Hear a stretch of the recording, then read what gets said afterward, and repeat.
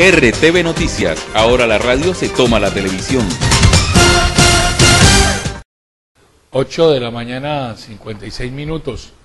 Eh, la revista Semana ha sacado un artículo del tema de la universidad. Dice que entre líos por corrupción y sin acreditación de calidad inicia la nueva rectoría de la Universidad Tecnológica del Chocó.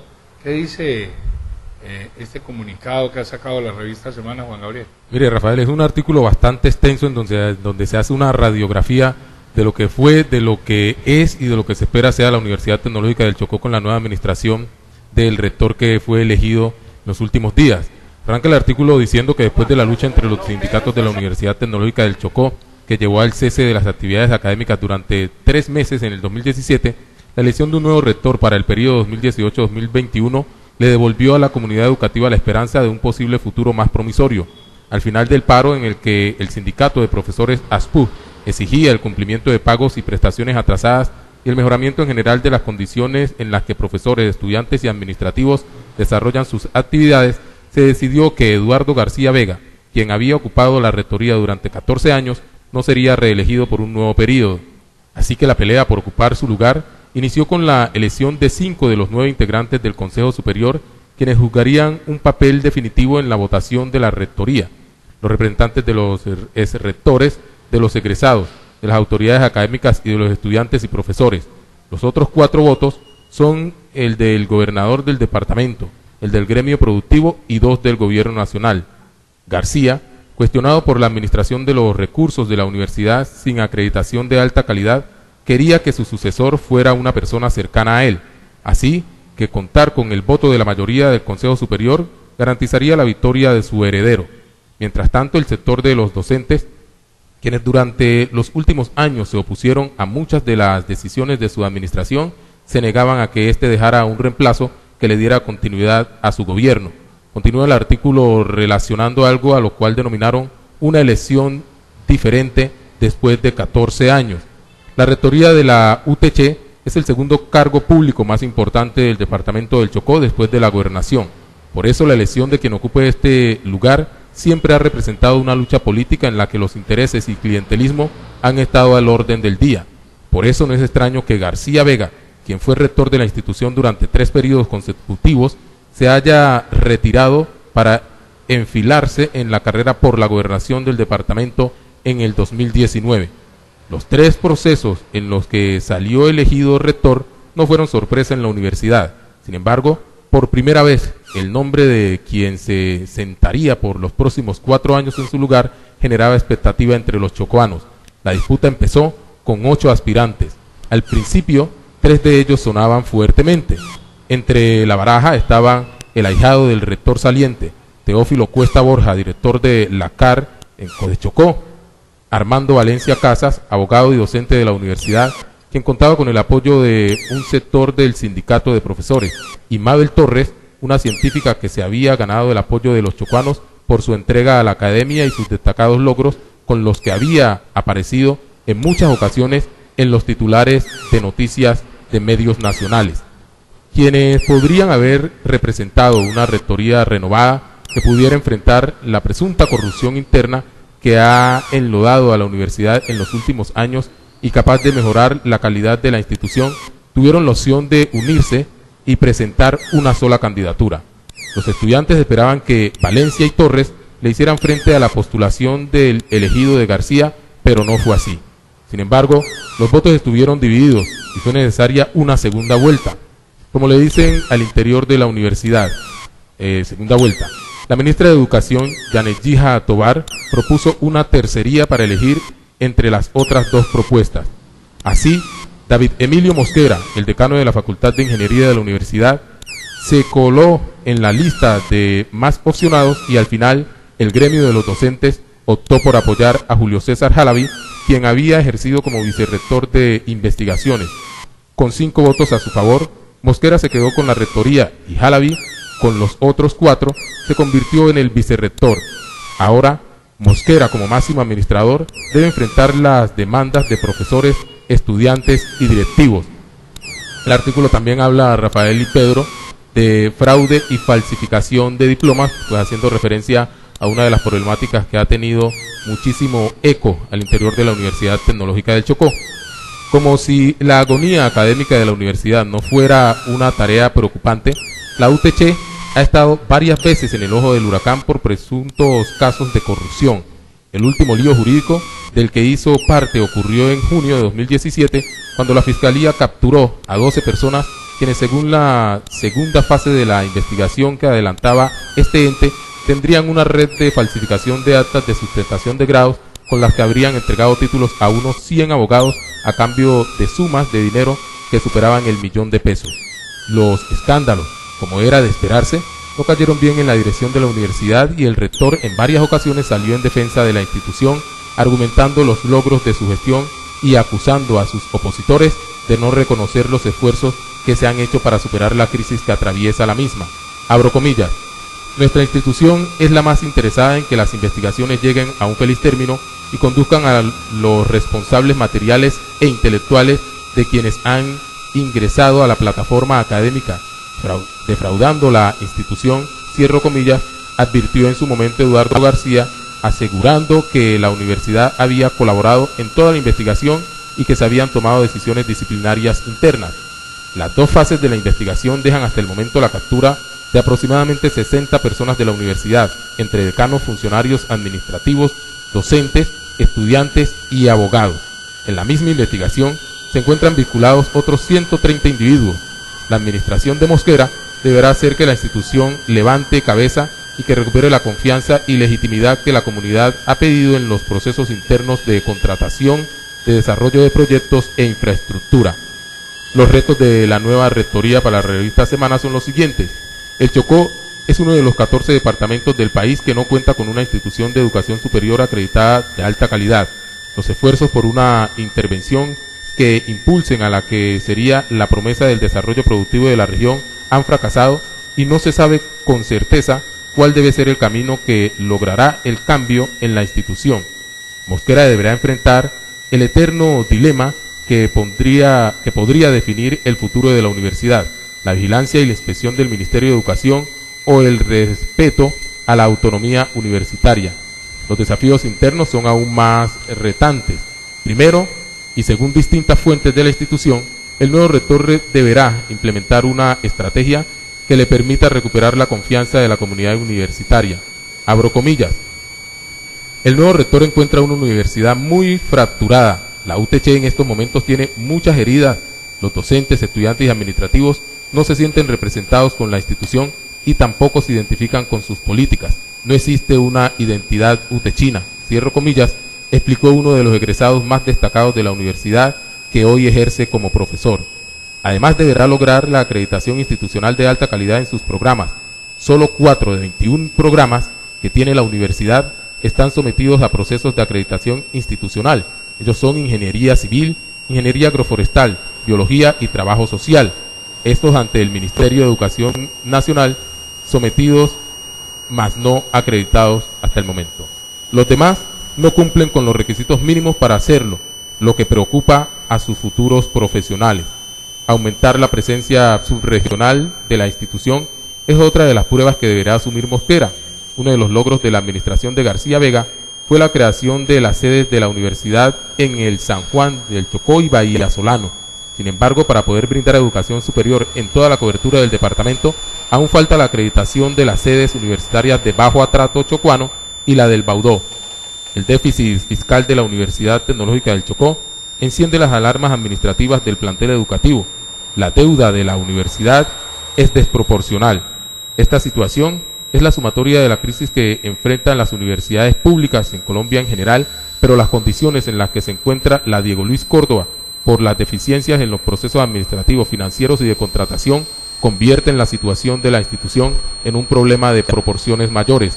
La formación y formalización docente deberá estar en la agenda de la nueva administración. Durante el segundo semestre de 2017 la universidad tenía solo 21 profesores con doctorado y 210 con maestrías.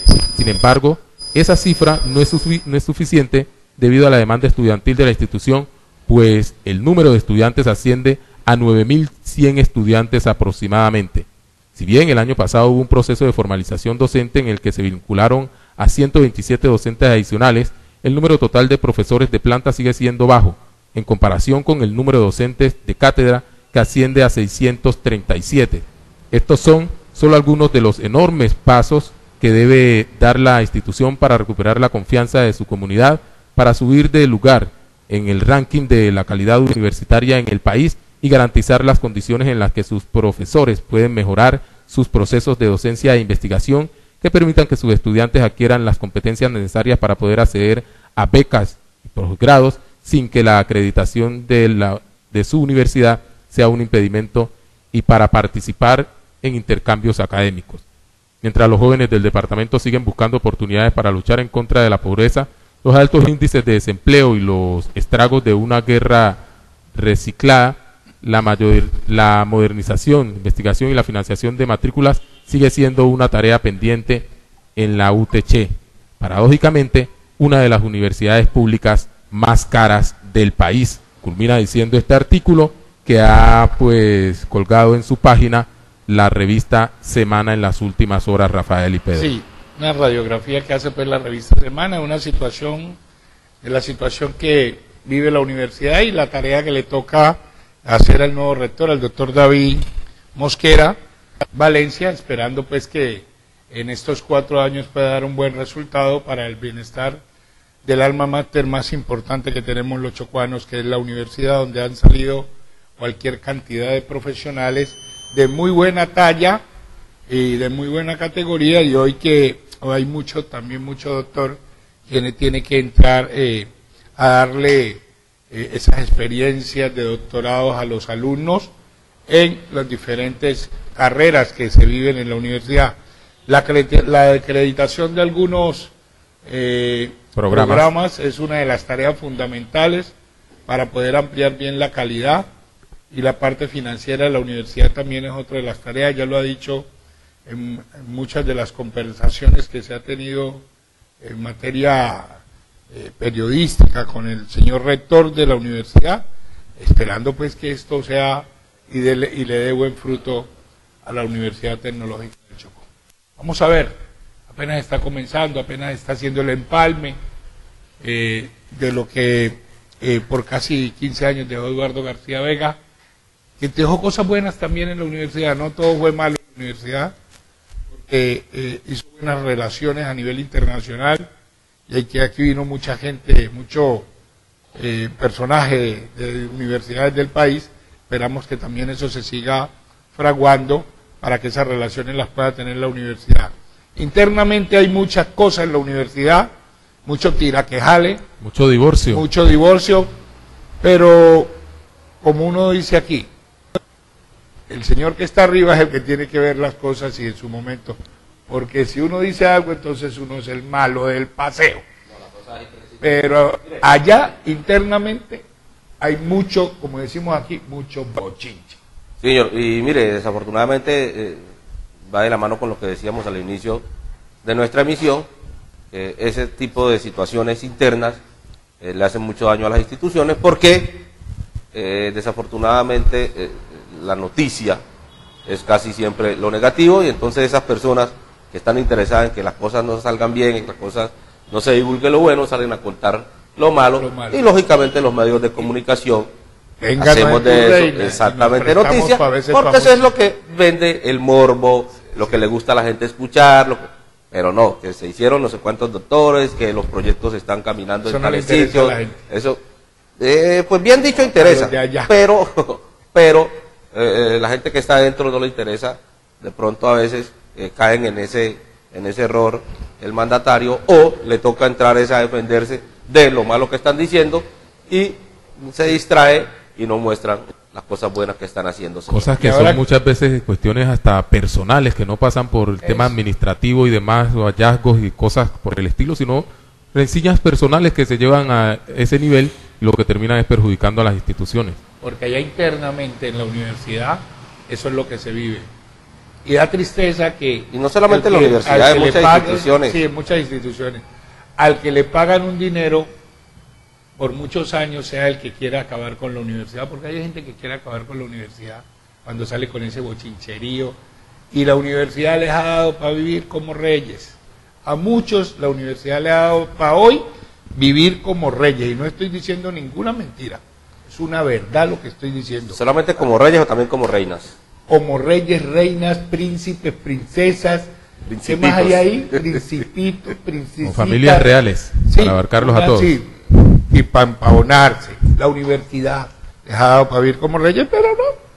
Salen a hablar, ya les garrote, porque si de pronto no salió lo que querían, Se cerró el grifo. se cerró el grifo, porque Eduardo García a muchos los puso a vivir bien. No, no lo puedo, eso, y eso es verdad. No me van a decir ahora que es mentira.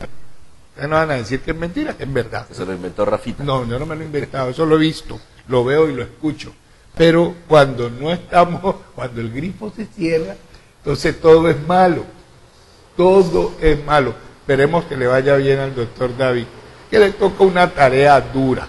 Hay que Dura. arroparlo, hay que rodearlo, pero positivamente, porque de lo contrario la línea que va a continuar va a ser la misma. Muchas informaciones que no le hacen bien a la universidad. Sí, porque mire, hicieron un paro de tres meses y hasta hoy. Yo no sé si usted lo conozca, Juan Gabriel lo conozca o alguien de la calle que me lo diga algún día. Hasta hoy nunca salió un comunicado oficial diciendo por qué se hicieron ese paro de tres meses. Yo no lo conozco. ¿Y por qué se levantó? Y los ¿Por- acuerdos, si hubo acuerdos, que y se por qué se acordó. Eso no lo conozco. ¿En qué se avanzó después del paro? ¿Qué Y ahí es donde yo le digo a los señores estos IAS, todos los IAS, ¿Incluido Isaías? también, y el gobernador, porque son protagonistas. La universidad queda aquí, que metan la mano con la universidad también.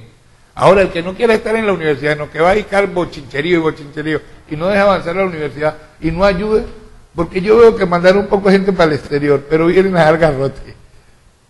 Bueno, pasa. esos fueron a pasear, porque hay unos que sí fueron a aprender. Mejor dicho, no voy a hablar más porque aquí como la gente no le gusta que uno diga las cosas, pero lo que dije es verdad, 9.13. Eh, ¿Nos vamos o nos quedamos? ¿O Todavía tenemos algo más en el tintero. Eh, mire, se viene rendición de cuentas de la Administración Municipal de Quito, eh, el 12 12 de abril. abril. Hay rendición en la, en la hay rendición también en Codechocó para el 26 de abril. ¿Y más hace rendición? El día pasado la hizo Ismael Roldán. El Ismael Roldán la hizo, sí, Sí, señor. el viernes. Interesante información la que pudimos conocer, que vamos a compartir en el transcurso de la semana también, eh, que es otra, eh, eh, otro, otra institución donde se vienen haciendo cosas buenas, pero también apenas Garrote. sale lo malo. Cuando no se Ay, paga, Dios mío, cuando no, no se pagan pagado, dos meses, que no hay insumos, que- que no hay pago. pero mira, la gente interna no es capaz de decir cosas como grandes estudios y hallazgos que se están haciendo con eh, universidades de afuera que han venido a los servicios aquí y que hoy hay eh, grandes avances en lo que tiene que ver con paludismo. En fin, Yo estoy hay- de acuerdo que, Pedro, eh, eh, eh, todo el que trabaja porque trabaja, porque necesita un recurso para sostener la casa. Eh, y las instituciones en eso tendrán que corregir algún día.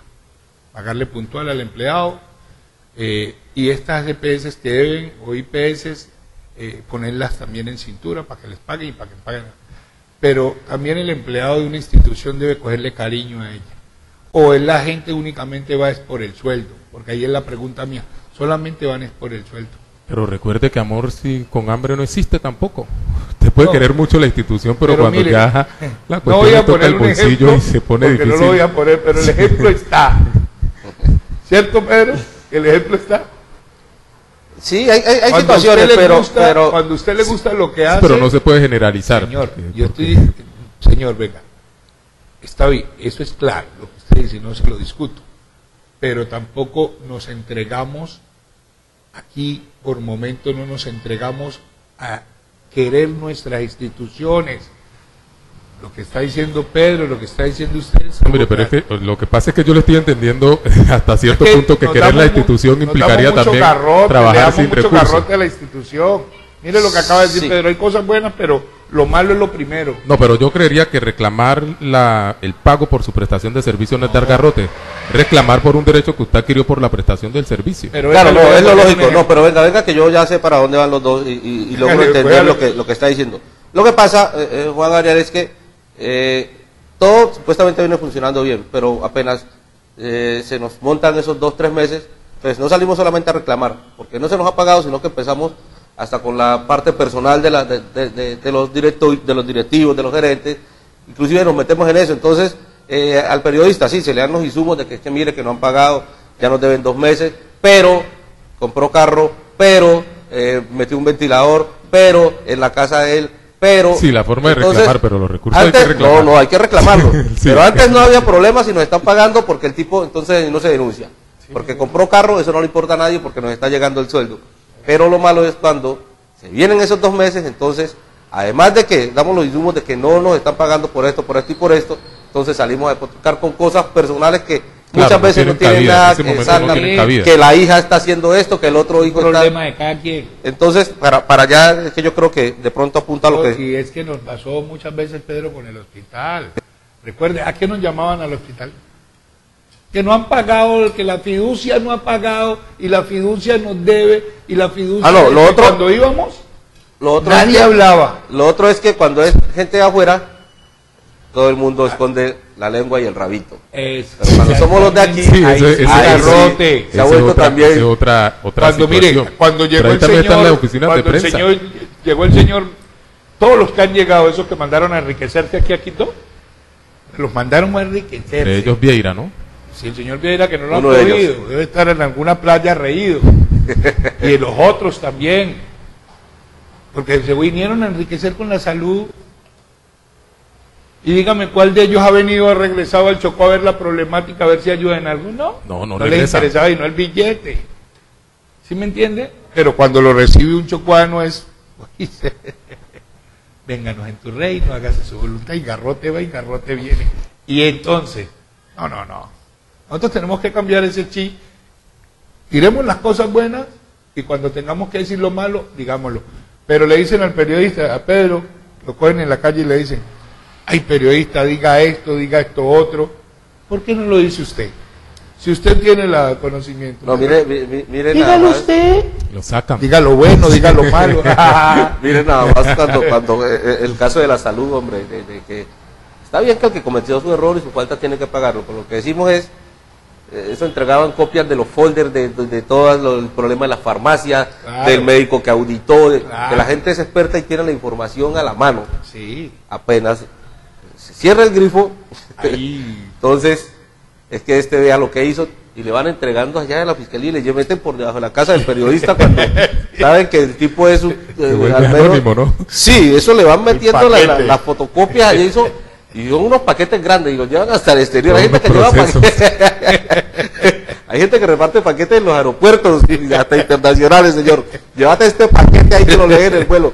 Pero sí, así somos. Y mire que a, eh, a la gente de afuera eh, eh, se No. van con los bolsillos llenos.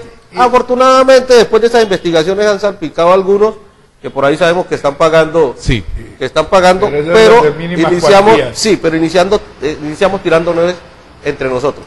Aquí hubo un director de la salud de los primeros que llegó, el primera, eh, esa primera empresa que mandaron para, la, para lo del tema de la salud, Interventoría. la interventoría, que colocaba una 9 milímetros en la mesa. Yo estuve allá verificando ¿Lo eso. atendió con esa práctica? No, me atiende con eso y yo saco la mía y la monto ahí también. y le digo, pongamos la con De nueve a nueve. es así, era una 9 milímetros. La mía es una 12. es que aquí pasa eso, pero no nos hemos pellizcado y tenemos. Las ropas sucias se tienen que lavar en casa. Y el chocuano tiene que aprender a respetar al chocuano y dejar esa envidia y esos odios que se manejan aquí, porque aquí cuando vienen esa gente de afuera, me ha tocado, se enriquecen y los despiden con chirimía cuando- y lloran, chocuanos que lloran porque se va el doctor, pero cuando, y se alegran es cuando el chocuano, Todavía hay aquí, ahí en lo cultural. y cuando el de aquí, Viene de generación en generación, recuerde a dónde venimos. claro, No es que la gente, mucha gente Y- va, estudia o estudian aquí, pero ese No. chip todavía lo tienen allí, No, señor. no, no, no, Poco a no. poco hay que irlo Sí, no hay que aceptar eso. No hay que aceptar. Nosotros debiéramos trabajar, como se dice, unidos. a Sacar esto adelante. Alguien me decía, eh, yo respeto a la gente del Chocó porque a la gente del Chocó le gusta prepararse.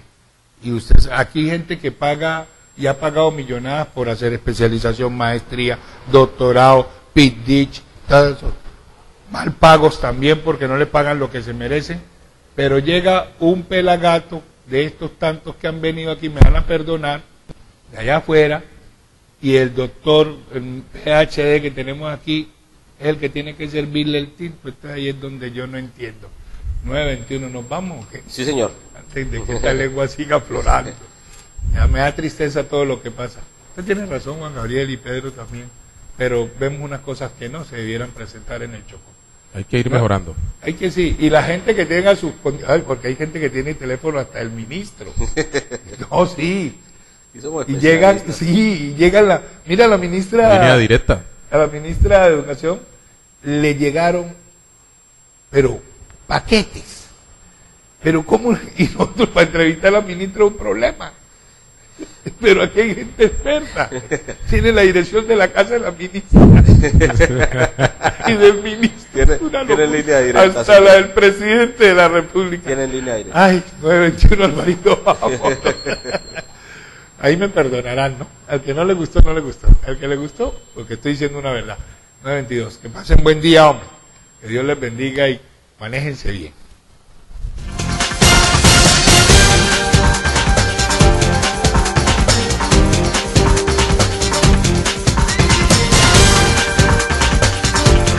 RTV Noticias, ahora la radio se toma la televisión.